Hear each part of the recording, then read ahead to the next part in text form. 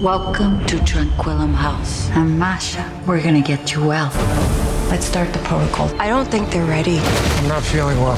What's about to happen? Are you afraid? It's gonna change everything.